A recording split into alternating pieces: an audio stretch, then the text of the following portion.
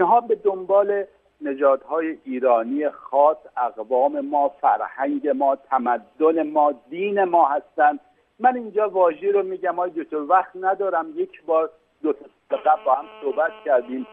اینم در یکی از سایت اومده یه فیلسوف ایرانی در خارج کشور. میگه چه کسانی میترسن از این جنام ایرانیان به دست مثلا غربیا بیفته؟ بعدا بخوانید ببینید اهداف اینا چی هست. من اشاره به یک کلمه می‌کنم بحثشو می‌ذاریم برای بعد که اینها با دین ما هم کار دارن. با اعتقادات مذهبی ما کار دارن. من پنج سال پیش درباره پروژه فان وکس آی دکتر خودتون من می‌دونم واژه رو شنیدید الان خاطرتون اومد.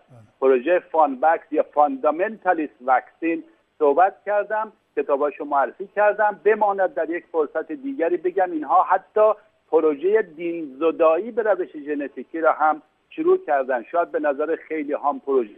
عجیب بیاد ولی شاید یادم شما کلیپش رو حتی پخش کردید.